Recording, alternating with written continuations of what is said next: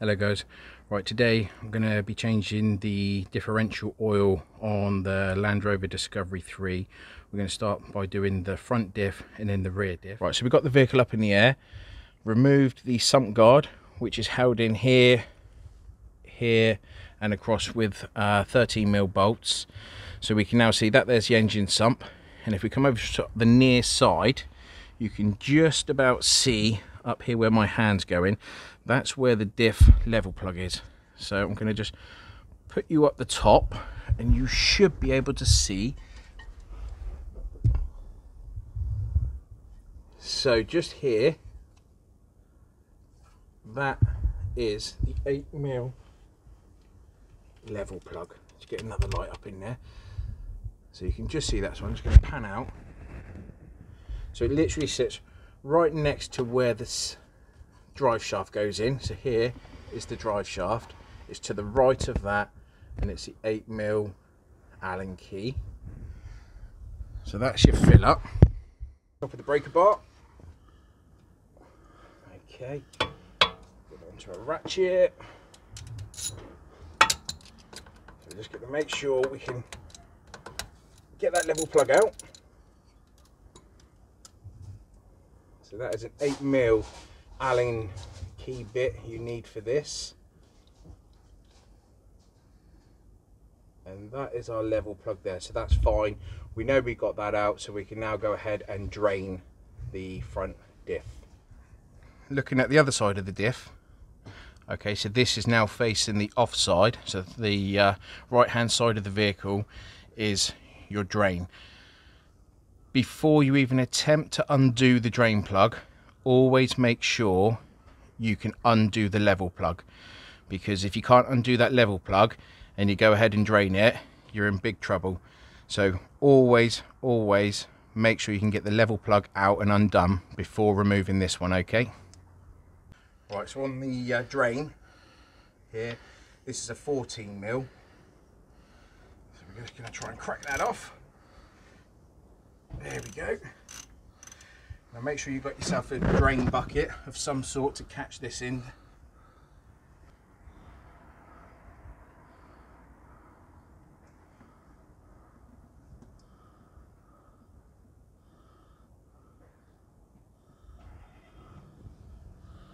So it doesn't actually look that bad, that oil. On the end here, this is a magnet. So any swarf filings at all which are coming from a worn diff should be magnetized to this. As you can see there. So always go over that with a rag, give that a clean. Okay, so that's now all drained out. We can put our plug back in. You can see it's cleaned off the magnet there. So that's fine to go back in. Again, make sure you can get it in by hand. Screw it, don't force it in that in place. Get our 14 mil Allen key.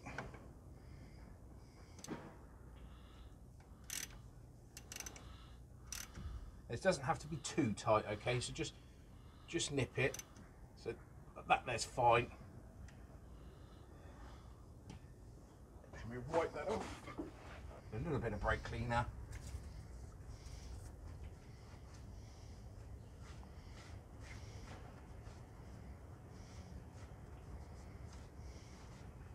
Now we can fill it. We're going to get some 7590 gear oil to go in.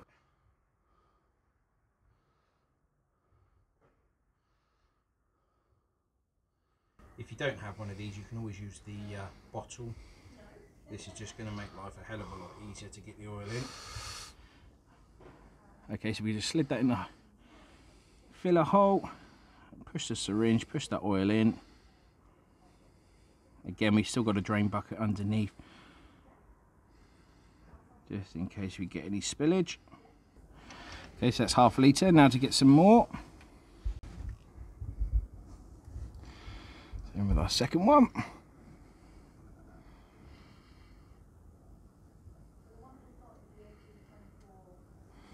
And there we go. That's running out. That's fine there.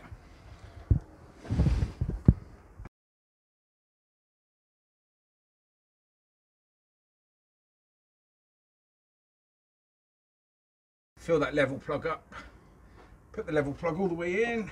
Now we're just gonna do that up.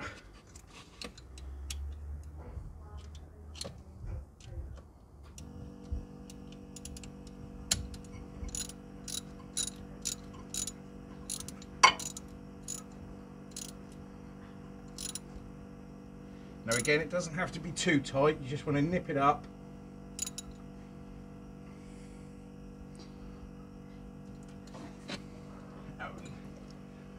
Clean that off with some brake cleaner.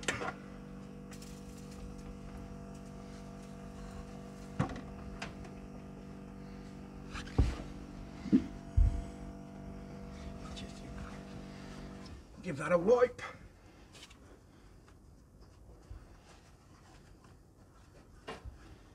Lovely.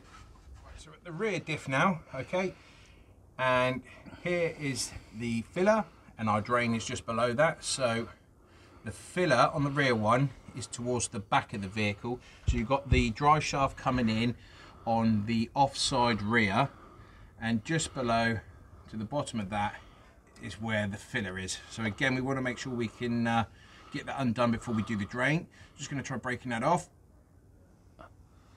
There we go. Swap over to a ratchet. Undo.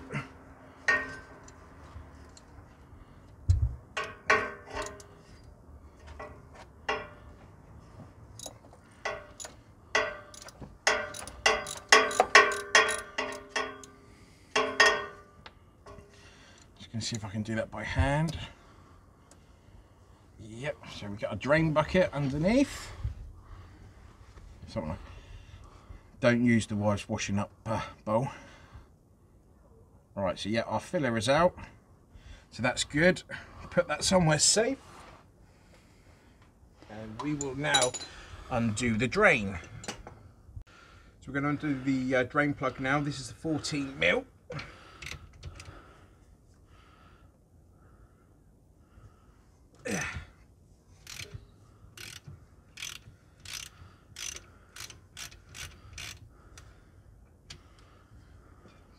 You've got your drain bucket underneath.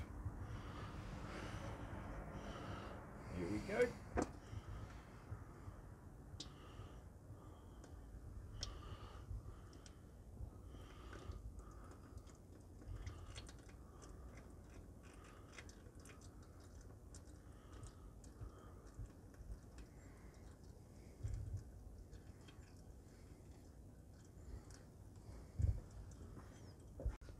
Pop the bung back in now.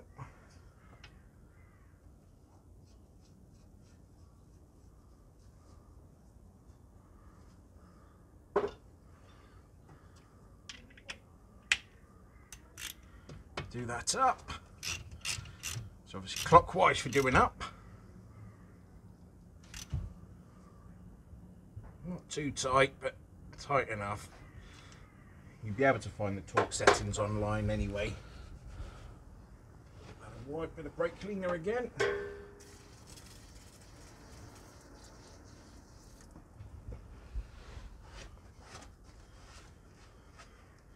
So we get that one filled up and uh, make sure we've got no leaks. So we're going to pop our oil in again.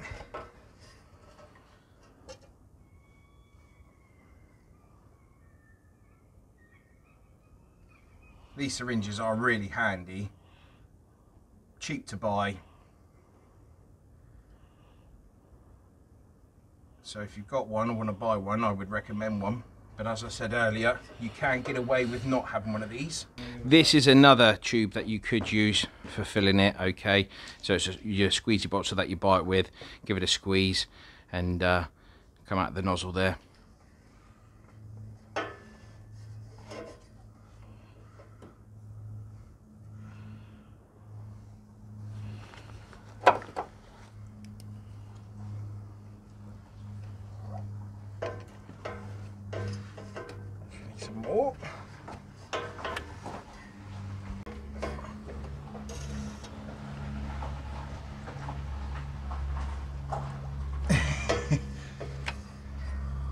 So our oil levels all up now on the back.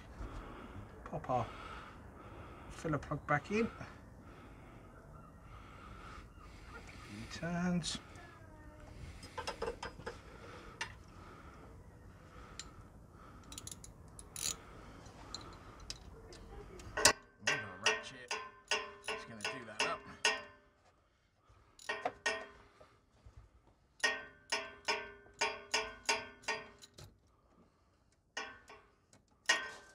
That's tight, there we go. Finally, same as we did on the front, we're just gonna wash that off.